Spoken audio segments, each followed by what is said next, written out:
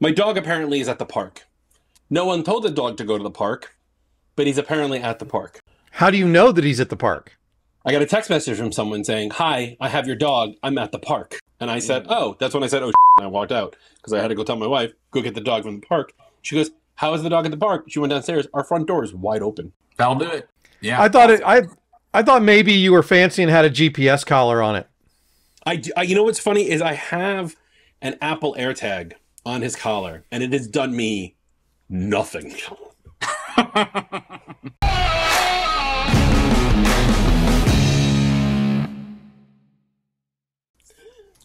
maybe my dog will show up, maybe not. Who knows? But who cares? Because we're recording the What's Up, everybody? Welcome to the All Things MSP podcast. I am your host, Justin Esgar. With me always is my good friend, OG host, Mr. Eric Anthony, founder of the All Things MSP Facebook group. Eric, how are you today? I'm doing amazing today because I don't have a lost dog. But besides that, and uh, if you want to see what that's all about, check the uh, outtakes at the end of this podcast. uh, how are you today, Justin? I'm good, except I have a lost dog. So I'm so glad Apple gives us technology to find things. It didn't tell me that my dog ran out my front door and went three houses down to the park. But again, stay till the end. If if, if for no other reason to hear me complain about why my dog ran away. Um, but he'll be home soon. He'll be fine. Speaking of dogs, no, I'm just kidding. Uh, what's up? I have I have the I have a good friend of mine who I'll I'll say I'll when I every time I see him I say yo dog. I don't I don't know where I'm going with this. It's been a day. Um, You're trying to segue. That, that's all right, man. trying to segue. It's not working. Let me try it again. Sorry. I've never I've never screwed up like this. Also, this is probably all staying in the in the cut. Uh, my dog is fine. He's back. He ran to the park by himself. Wanted to get some sunshine. Uh, my Apple AirTag did me nothing. So thanks, Apple. Uh, speaking of Apple, I have a good friend of mine, an Apple consultant based in Atlanta, Georgia. My good friend Lucas from Fuji. What's up, Lucas? Hey, man. Um, I'm just happy to be here. I love learning from other MSPs and just getting some stories from the trenches. Just diving right into it, aren't you, my friend? Yeah. Lucas, before we start, uh, why don't you tell the listeners who may not know who you are, give us like a two, three line. Who are you? What do you do? And uh, what do you have for breakfast today? Mm. Today I had Chick fil A, which I'm from Atlanta. So that is perfectly on brand. Um, I, it was this dad kid uh, event that goes on once a month at my, my daughter's school, and they serve Chick fil A. So Nice. that's what I had. Um, so, for a very brief backstory, uh, Fuji's now been around for 15 years, and we started. I say we. I had a co-founder at the time. Um, he left after two years because he learned running a small business wasn't his cup of tea, and that was a very like big learning moment for me too. I was like 24 at the time whenever he left. Um, but anyway, started doing break fix work in 2008. I had just come from an Apple store where I was doing training and thought that, you know, making around 100 bucks an hour would be super easy work and I could just fix Wi Fi networks, um, you know, maybe like how a lot of us started. Um, back then, Apple still made servers and mail servers, and I was just you know super excited to jump into uh, anything that would really pay pay my bills. And to fa- you know fast forward now, um, we are a team of eight. We are in uh, four states, and you know can do a lot of work of our work remotely. And we are about ninety percent of our revenue being um, MSP type of work. So it didn't happen overnight. It was a gradual progression, but we're by focusing on kind of like what we wanted to be good at, we you know we're able to progress that MSP percent or the the recurring revenue percentage over the years. Um, we started saying no to deployments at K through 12 schools, saying no to the big you know enterprise type projects, and just focused on the MSP work. Um, so yeah, that's a little bit about Fuji. That's awesome, man. And uh, you and I have been friends for quite some time. You actually did a presentation at my conference, ACES conference, back our second year. If you remember, we were in Austin. You did a whole thing on uh, on how to do video because you have a you have a face for video. I have a I have a face for radio. It's a very different lifestyle between that, that, that, the two of us live.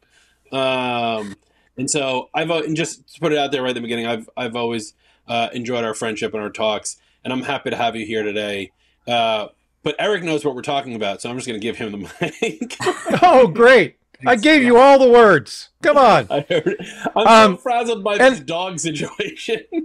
and by the way, I'm the one with neither the face nor the voice for a podcast or a video or whatever.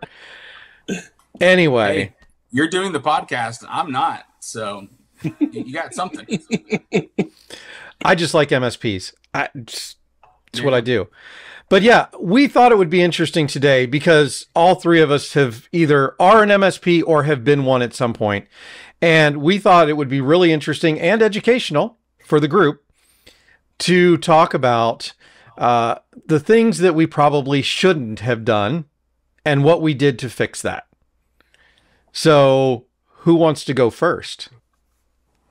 I mean, we can get the jokes out of the way. I shouldn't have started an MSP. Moving beyond that, because that's not why the listeners are here. Uh, well, well, let's let Lucas go first. Lucas, I mean, unless you want one of us, you, uh, you and I have been in business the same amount of time, so it's not like I'm more seasoned than you are or anything like that. Um, though it yeah. does sound like the Chick Fil A is more seasoned than both of us. Um, you know what? what do you think? Yeah, like I think well, what's funny about uh, when we were talking about you know these these stories that that we've all got, the idea came up of that we're just all guessing anyway. And I know one of your recent episodes you had like Paul Green on, which that was a phenomenal episode. If you guys haven't listened to it on marketing uh, for MSPs, and now of course he's he's got quite a, a tight operation where he's really helping organizations with their marketing and that's why we need people like Paul Green. But the rest of us, and I don't know, I can't speak for you guys. It we're all just kind of guessing what yeah. what will work, whether that's policies, right, like HR stuff, um, whether that's technical, you know, apps that we're going to start using, or uh, or clients to take on or not, or how to bill and whatnot. So that is just kind of a fun question, like. What did you try that once you did it, you realized, oh, this actually wasn't that big of a deal, or it was actually way better. Why didn't I do this, you know, before? Yeah. Um, and one th- that I, I, from early on that kind of ended up stinging us. So this isn't a great example of like, hey, just try. But I'll start with the failure first, and that is uh, unlimited vacation time. I was inspired by all these Silicon Valley like you know benefits packages. Like back when that was the cool thing to do was no hey no vacation policy. Take it whenever you want. And what I learned is that it works for most of the people on your team. You know that yeah and we didn't really have problems with it. Everyone ended up taking you know around three weeks of time when I kind of did the average over several years but where it bit us is there was uh, a customer, uh, an employee with a medical issue, and we had no idea how to handle it. And that employee ended up being remote for a while, then completely off the grid for uh, six months. And well, we're a small team. We care for each other. We know that you know they're supporting their families and whatnot. So we we did everything we could to still uh, take care of that employee and we did and they they came back um, and it was great working relationship. But it looking back i don't it, it, put the company in a very difficult position put the rest of the employees in a very difficult position put our our cash flow you know kind of in a bind because they weren't able to work. So uh, it was like a reminder that well, hey, we we did change that policy. Hopefully, someone listening, if you do have an unlimited vacation policy, you can uh, you know think about that and maybe set some limits around what that looks like. Um, but that was an example of you know trying and failing, but it wasn't the end of the world. I think the uh, I think we as small businesses all try to model after the bigger businesses and say like, oh, if they can do it, we can do it too. But like the one thing we forget about is there's a reason why they're a big business, right? If we try to model the unlimited vacation policy off of Google, if someone takes six months off, Google has now hired four people to replace them. Meanwhile, we cannot do that, right? And so there's a lot. I mean, we do the the unlimited vacation policy also, but now I'm thinking like in our handbook we should put like a double asterisk with like within reason or whatever it is. Um, but there's a lot of those. There's a lot of those little things that and, and you said something that was really important to me, which is you said you care about your employees and their families, and uh, and right. that's really important as a small business. But part of me also wants to just say like, should, as owners, and I, I'm I'm perfectly knowing that I'm going to start controversy here. Should we care? Like, because the the fact is, like, no, hear me out, hear me out, right? I of course I care about my employees, right? One of our employees had an issue with a pet. I was worried about it. I was checking in, making sure everything's okay, whatever it is, right? Mm-hmm. I let them take a day off. They needed time. Fine.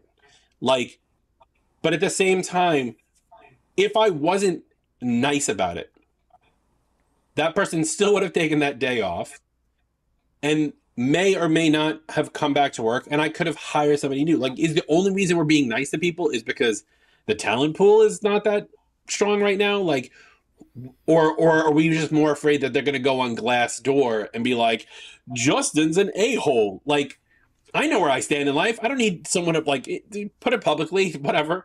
But like what i think part of the question is why right? And and i'm don't get me wrong i'm doing this on purpose right? Like i'm not trying to don't not care about people. I'm, I'm talking this on purpose. Like and this goes through the entire system right? It's not just unlimited vacation policy. It's for it's for everything, right? Think about all the benefits. We have one of our friends, uh, uh, gentleman named Chris Holmes from Rooted Consulting, for example.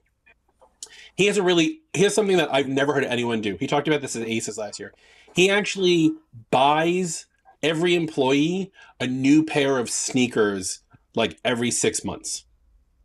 Like because wow. his team walks, they walk around a lot where they are, big metro area, and he understands the need for good footwear. Like, and we're not even talking. We're not talking. He's not buying like Air Force Ones, right? Like, we're talking about like white on white New Balance, like the kind that your dad wears.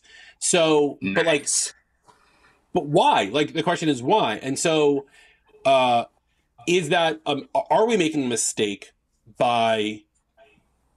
I know we're going on a tangent, but we've talked about this in another episode. Our podcast is not linear. We're just a bunch of tangents. We're the multiverse of podcasts. Um, are we making a mistake by caring for our employees? And I want you to say no. Is this where I talk? Uh... it's it's open forum. Or, or okay, or was that a, a rhetorical question? No, no, I think you're right, and I I came obviously with policies like that. You can see I came from like um well, I guess the win the lens I'm always looking through is what kind of company would I want to work at, yeah. right? And I think yeah. we are all kind of um, conscientious of that. It's like we want to make a policy that we feel is ethical and and whatnot, and uh, you know there is a point though where you you can end up damaging the organization. You know, the organization is not you as the founder or a leader um, or an engineer, an, an employee the organization is its own entity and it it needs to have um, boundaries, I guess. And so, without get this turning into like a therapy episode, um, you know, we have to have boundaries. You guys were even talking about that on a recent episode of uh, having boundaries, like finding the right clients, you know, and knowing what kind of clients, like setting boundaries uh, in in your MSA with with your clients and I think we have to do the same thing for our policies too. Like, yes, we care for them. We, uh, whenever issues come up, because life does happen, but also what's going to protect, you know, the the organization as the unit. Which, you know, what's also helped me is getting other people. This is another tangent, but getting other people on uh, a leadership team, like forming uh, an actual leadership team instead of just like seniority or oh that's the senior guy that knows networking and AD and the most advanced identity management stuff. Um, but creating a leadership team where these are not decided in the echo chamber of our own minds. Um, so that that has kind of helped. Do you guys have leadership? Uh, any kind of um, yeah, anyone helping make decisions on policies like that? Uh, I mean, Eric's the leader. I, I, when it comes to policies about the podcast, I just fall. I'm just a soldier. I'm just the. um, but at Virtua, uh, yeah. So a lot of it does come from from me, and we have our directors and uh, uh our two directors and our president and myself have a meeting, and we kind of go over that kind of stuff, and we're slowly getting into those those conversations around policies, right? Um, especially because part of, I mean, for us, it's a little different because we just acquired a company last year. We're still working on merging and getting all the the policies for both companies to be on the same page and like how things are going to work. And that's that's that's a a very difficult uh, and a very different kind of conversation than than doing that. But like yeah. bringing back to policies and what we're talking about in the original, like I mentioned this to my team the other day if I was, we don't have a PSA, right? We don't use we don't use a PSA. We use Zendesk, we use FreshBooks, we use uh, ClickUp. We're broken up all over these things. And I said to cool. my team the other day, I said, if we were starting the company today, we would start with a PSA, right? Because I know, especially on the Apple side, a lot of Apple consultants don't use a PSA. They weren't really built. They don't. They're not really built for Mac people. They don't integrate well with Mac stuff, but they're slowly getting better. Um, and so that's one of the things where we're now actively looking for something. Literally had a phone call with with a potential one today, um, and we're because we want to fix. It's not a mistake, right? But it's one of those things where like, and I think this is what the bigger problem is with the entire conversation is.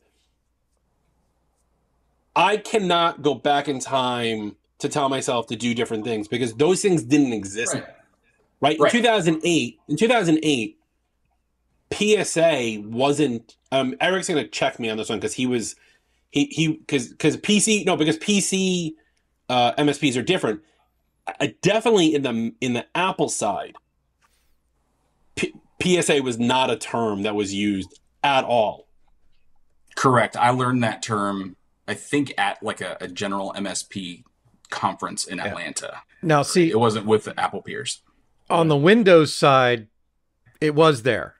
Like I started because a lot of people know my story. I had a break fix company and then I started my MSP in 2007. I knew in 2007 when I started that MSP that I needed two things. I needed a PSA and I needed an RMM. And so right. in the Windows world of things, in the PC world of things, those existed. Um, but back then, Mac and Windows were even more separated than they still are today. It's a lot closer today because we've realized that uh, you know my the expression that I always use is you go into a boardroom of any business, right? And look and see what computers are on the desks. They're Macs. Even if the rest of the organization uses PCs, the decision makers I think I don't think I'm stretching it here to say at least eight, if not nine times out of ten, are using Macs. And so it's always been critical to me that you include both. Uh, but back then, it wasn't the same as it is today. I think it's interesting that this podcast has turned from don't do what we did to HR policies and leadership. Uh, now, I think it's relevant I think it's very relevant though, because I think one of those things that we've kind of sussed out here is that this is a major concern for most MSPs. Uh, most of us start and for a very long time run it ourselves out of our own head, to use, you know, kind of your words, Lucas. Uh, you know, policies are tough, HR is tough. Um, but one of the ways that we can get through, and we were talking about this a little bit before the show about how it's really important to how do I want to put this? To kind of test things faster. And so one of the ways to test things faster to get to the right solution is to float it to other people.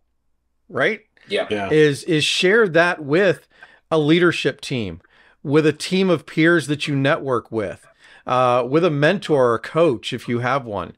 Uh, it's really important to have that leadership team, whatever it looks like, uh, whether it's employees, whether it's peers, whatever. And can can I share something that kind of unlocked that for me? And it was like this misconception, yeah, that that prevented me from sharing too much is that I didn't want to bother my team. It was like, I, hey, I'm the one who signed up to run the company, and you're here as an engineer of you know this certain specialty. Listen, you've got tickets on your and projects on on your plate. I I want to be the the employer and kind of like just solve all these problems for you. But so that was my my mental um, block, I guess. And it wasn't until I I kind of was was brainstorming with a, a client of, of ours who's actually a COO and and he he's used this model called EOS to to run his organization.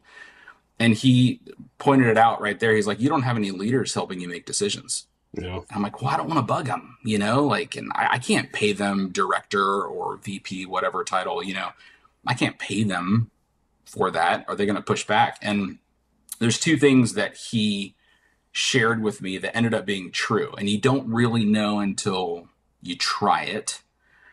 But the first is that all of your employees do have an opinion, whether they're sharing it with you or not. and if they enjoy working there, meaning if they're still on your payroll, they would love to have sway with the decisions, but they don't want to like be calling you every day with opinions on running the business. In other words, your your employees, your team members ha- have they want to work in a good place and they would love to have a vote on, on you know certain topics. Um, and I never really thought about it that way. Like I always thought I would be a burden to them by hey, let's talk about this HR policy. Um, but it well, can I interject that for a second? Yeah. I want to interject on that. And I know we're talking about policies in general, but this is why we invited all of our team to demo the PSAs. We went into the sales calls mm. with the team and afterwards asked the team. Now, we saw a couple of them, and one of them I just shut down because I was like, no, I don't want anyone else's opinion because I know for a fact that this is not going to work for us.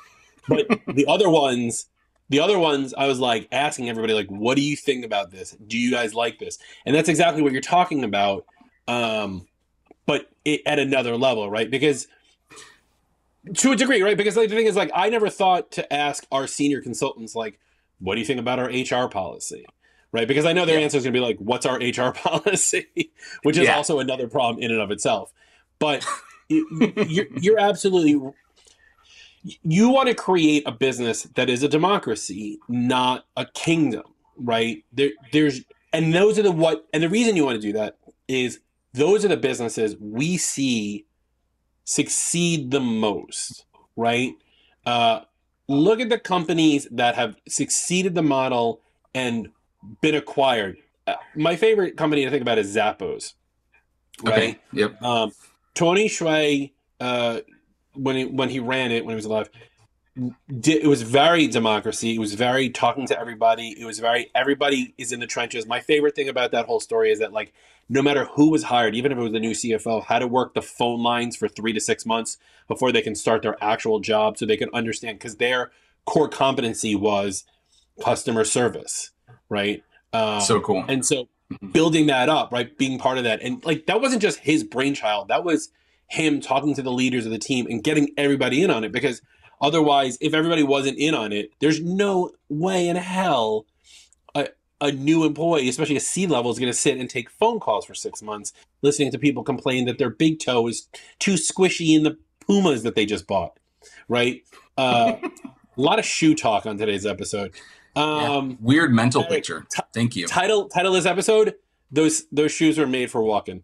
Um, but like that's that's what we're talking about here is that get that buy-in from the team and especially in a small business because yeah like i was talking earlier you don't want your team to not like you and go on glassdoor and complain about it oh lucas is such a meanie and he's always just dictating and doesn't care and blah blah blah right so this kind of goes back to what i was saying earlier about caring about your employees bring them mm-hmm. in on the fold, that's a good thing, especially in a small business. You still have final say. Obviously, you have you you have veto power, but Yep. getting their input on a lot, not all, a lot of things can help you succeed as a business. I, I 100% agree Yeah. with that.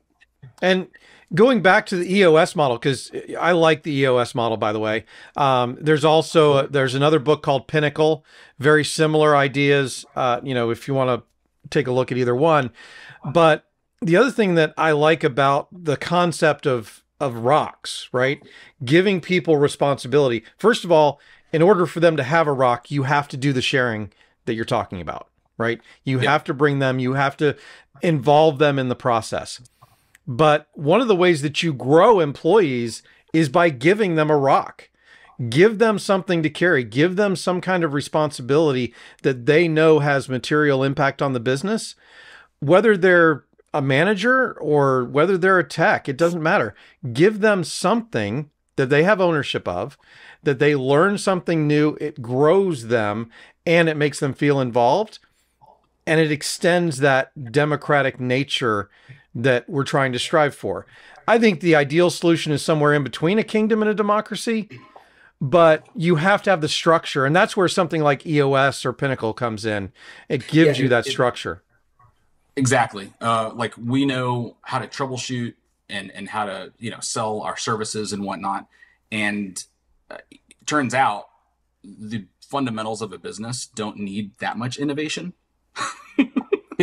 and there is like a set way, you know. And I didn't. Yeah. I guess I didn't. I didn't want to believe that for the first 13 years. We've been running on EOS for two years. And it wasn't, to be honest, it's probably my pride. It wasn't until I put my pride down and realized, okay, EOS is actually pretty cool because I don't have to think about the how to run things anymore. I can just let my ideas flow based on what my clients need, right? And then, uh, just to explain, I used the term Eric, a rock. Um, for those who aren't aware of kind of the the weird language behind it, all a rock is is a 90 day goal, like a quarterly goal. So we just had our quarterly last week uh, with the leadership team. And to give you an example, one person's rock was to look at every single one of our contracts in our PSA and remove discounts.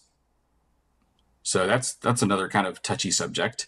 Now, we're not just like immediately removing them without talking to the client, but we have a lot of inconsistencies and two of our leaders are going to be collaborating to communicate with the clients and on what you know the new ch- prices are going to be like um, while the account uh, the our finance leader is going to be you know auditing every single one of our contracts and that's an example of like a 90 day policy it's not technical it's not necessarily hr that one happens to be financial you know um, and it turns out they get jazzed about this because they're like, oh my gosh, that's that's revenue that we haven't even tapped into. You know, like they get super energized by this. Whereas me, I'm I know every single client, right? I'm I'm the one that sold most of them. So I'm like, oh, do we want to take away that that discount? And I I'm in the business so much where it's a muddy decision for me.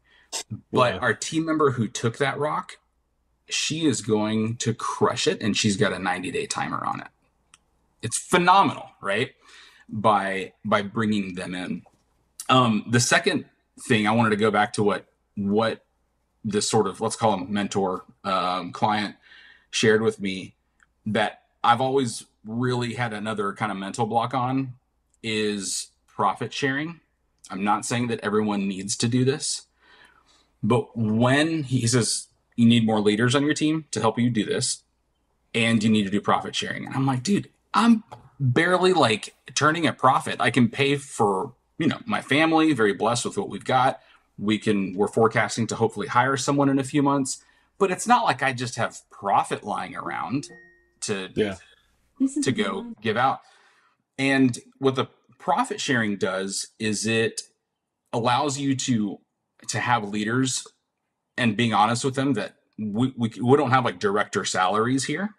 It's not like we can offer you a raise with this, but we are going to start profit sharing. And that's even going to be a slow burn. we we may not have much uh, at the end of this year or next year until we can really start to use the all of our leaders' momentum to to grow. Um, but what we did, I'm happy to just to be an open book, but there's no you know wrong way to do it. Is very simple. It was done on just a handful of cells um, in numbers, which is the Apple version of Excel, and all it is is I decided we're going to take five percent of profit and distribute it evenly among our leaders. We have five leaders, um, and I'm one of them. So I'm actually doing divided by four. That's simple. So if there's only 50 bucks, or let's do it simple, 100 bucks left in the account at the end of the year, we divide that by four. Um, but if it's more, awesome. And so it's not a, a as monumental of this decision and uh, kind of a matrix.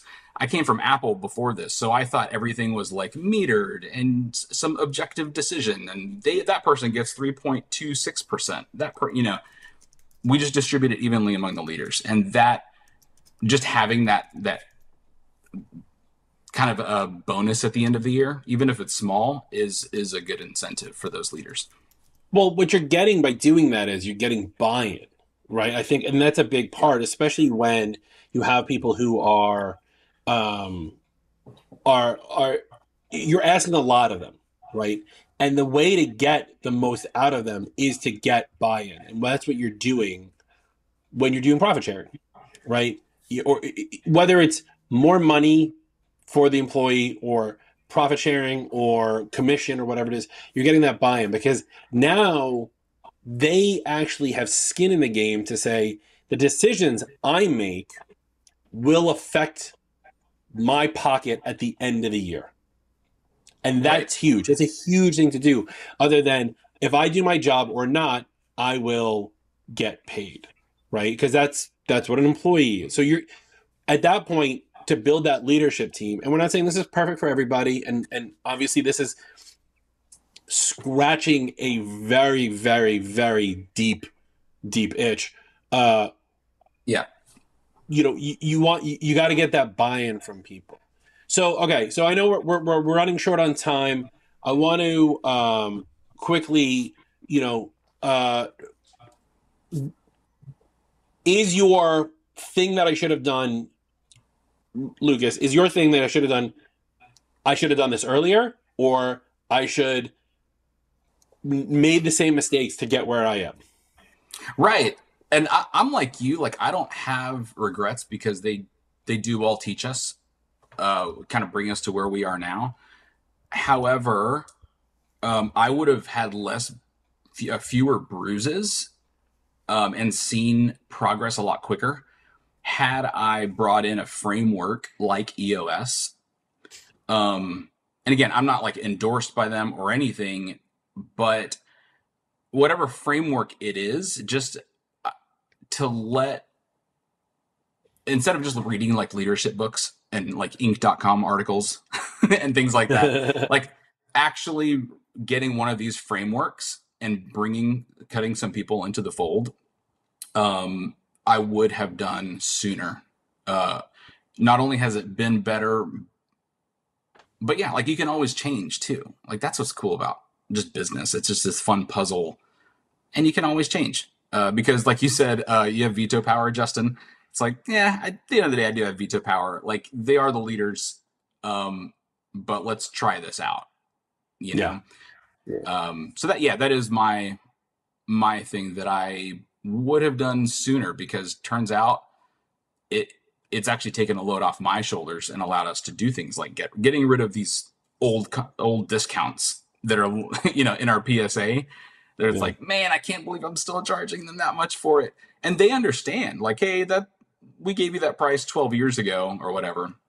Um, so it's it's getting some outside help to do those business um, level things. Right. And that's exactly what we're trying to accomplish here with the podcast. We are your outside help, and we want to hear from you. If you like the idea of EOS, entrepreneurial, uh, entrepreneurial operating system, which is something we didn't say yet this entire show, it's the entrepreneurial operating system. You can read books like Traction by Gino Wickman, I want to say his last name is. Um, yeah. uh, or learn more about EOS, you could always hit up Lucas. He seems to be a new EOS pro. He's been he drank their Kool Aid, obviously, um, Oh, yeah. and he's in on it, in on it hard, which is great. Don't get me wrong; it's a, it's actually a delicious Kool Aid. It's a group that you want to be a part of. Um, but that's what the Best podcast Kool-Aid I've had. Yep. and that and that's what the podcast is. We we want to be that outside help for you, the MSPs. So if you do have questions, comments, concerns, worries about your MSP, hit us up at the at facebook.com slash group slash all things MSP. Ask us to be a guest and we'll help you with your questions and we'll bring you on the show and maybe even have Lucas come back and help you with some management techniques. That could be a good that'd be a good four way episode. It means Eric and I get to say even less well, Eric says less. anyway, um, and I'll have to stop talking at some point. Uh, Lucas, real quick, where can people find you online if they have questions about EOS or management, or uh, if they want to join the Fuji team? Sure. Um, you know, uh, Fuji is F double O J E dot com. Um, it's like the phonetic spelling, I guess. The domain wasn't chosen, so I misspelled Fuji on purpose there. Um, and then I write uh, these sort of things, like these lessons, on lucasacosta.com. Um, and that's on like a little newsletter type thing. So when I have these little bruises, I uh, I share them there hopefully to save other people from getting them. Nice, nice. Thank you. Eric, any final words before we sign off to our adoring, adoring fans? Well, first of all, Lucas, thanks. This, I think this was a great episode. I really appreciate you sharing and and prompting us to talk about these things. Um, Justin, we're going to have a discussion about my New Balance sneakers. it's always somebody. It's always somebody. Uh, if you do like the podcast, please go to your favorite podcast app, leave us a review. Uh, tell us how much you love Eric and all of his wisdom, and then tell how much you hate me and all my talking points. Uh, we're okay with it. We just want the we just want the boost. Don't forget to go to YouTube.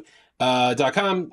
Look for Eric Anthony. Find the All Things MSP podcast. Like and subscribe. Hit that little bell for notifications. Join Facebook.com slash groups slash All Things MSP. Tell us what's going on there. How we can help you with your business if you want to be a guest. That's where we're at. That's it for us at the All Things MSP podcast. Till next time, bye.